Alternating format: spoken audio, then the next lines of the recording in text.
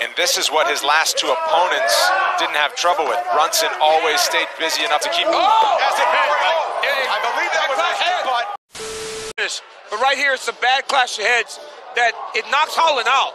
Right, Holland goes out. His eyes go go go dead. It, it knocks him out.